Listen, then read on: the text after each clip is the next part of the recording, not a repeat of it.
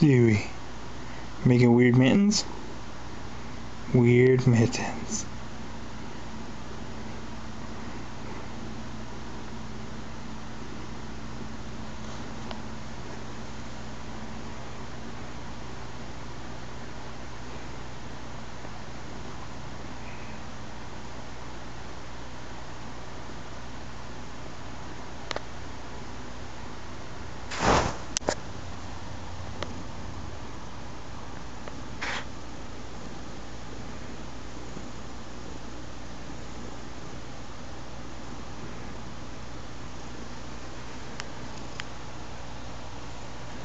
Uh, and he's done.